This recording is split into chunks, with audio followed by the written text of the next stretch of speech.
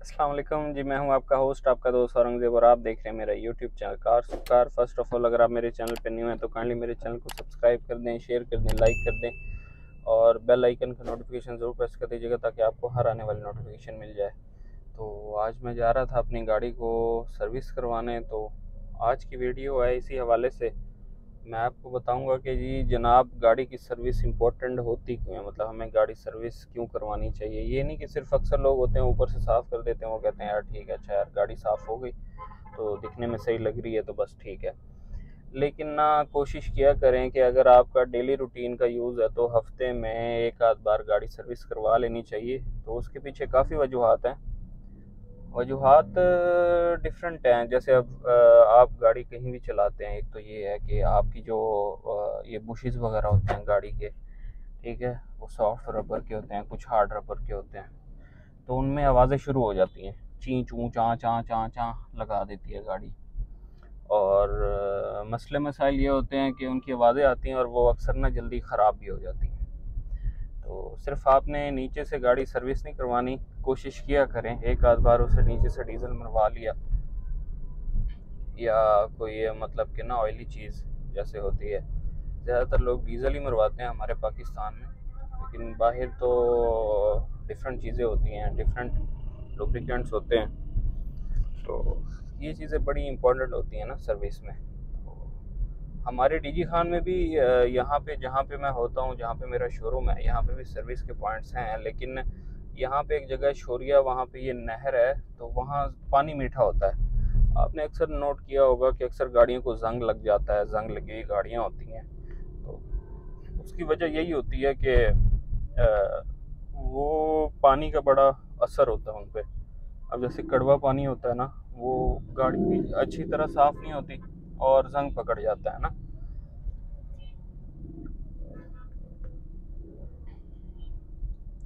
अच्छी तरह साफ़ भी नहीं होता और जंग पकड़ जाता है। तो उससे ये होता है कि आपकी जो गाड़ी की लाइफ है, वो कम हो जाती है। ये चीज़ें होती हैं उससे। और इसके अलावा भी बहुत चीज़ें हैं, जैसे आप हफ़्ते में सिर्फ़ बॉडी पॉलिश लगवा लें तो आपको कंपाउंड करवाने की ज़रूरत नहीं पड़ती। वो पिलाहट, जिसे हम कहते हैं येलोइश पन नहीं आता गाड़ी में, गाड़ी का पेंट जो है वो फ्रेश रह जाता है। और कोशिश किया करें कि जब गाड़ी पे मिट्टी ज़्यादा हो तो उस पर कपड़ा ज़्यादा ना मारा करें। क्योंकि उससे क्या होता है, एक तो आपका जो पेंट का कलर है ना, वो जल्दी फेड हो जाता है।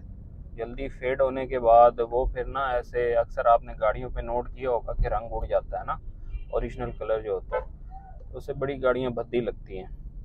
बहरहाल, मेरी एक्सल आई के साथ भी यही काम हुआ और जैसे कपड़ा काफ़ी ज़्यादा ब्लैक कलर को ख़ास तौर पे तो ये इसकी जो कॉर्नर्स हैं या जो वो चीज़ें हैं तो वो फेड हुई पड़ी हैं। बोनट पे तो मैंने पेपर लगा दिया था। तो आज मैं जाऊँगा इसे ज़रा तसल्ली से, अच्छी तरह से सर्विस करवाऊँगा गाड़ी को ऊपर नीचे से। और आज की वीडियो में बस यही आप लोगों को बताना था कि सर्विस क्यों ज़रूरी है। और भी इसमें चीज़ें काफ़ी होती हैं ड्राइव स्मूथ हो जाती है गाड़ी की, बहुत ज़्यादा स्मूथ हो जाती है सर्विस के बाद। और इंजन पे आपने जब गाड़ी गर्म हो फ़र्ज़ करें कि अगर आप किसी लॉन्ग डिस्टेंस से आ रहे हैं तो कोशिश करें गाड़ी सर्विस ना करवाएँ। क्योंकि इंजन भी हीटअप होता है डिस्कें भी हीटअप होती हैं तो फ़ौरन कॉन्ट्रैक्ट जो होता है ना, वो होना शुरू हो जाते हैं तो वो मतलब कि हर चीज़ की लाइफ कम होती है उससे। कोशिश किया करें, जब भी आप सर्विस करवाने जाएँ तो ज़्यादा मतलब गाड़ी चली हुई ना हो या जैसे मैं हूँ, यहाँ से तीन किलोमीटर का फासला है तो अब बस तीन किलोमीटर के फासले पे मैं जा रहा हूँ स्पीड वगैरह भी इतनी यूज़ नहीं कर रहा तो वहाँ जा जाके मैं क्या करूँगा कि मतलब कि वो पैसे, पहले इंजन पे नहीं मरवाऊँगा पानी, बाकी बॉडी पे एंड पे जो है वो इंजन पे पानी मारेंगे। उससे ये फ़ायदा होता है ना कि आपकी गाड़ी तब तक ठंडी भी हो जाएगी और इतना वो भी नहीं होगा।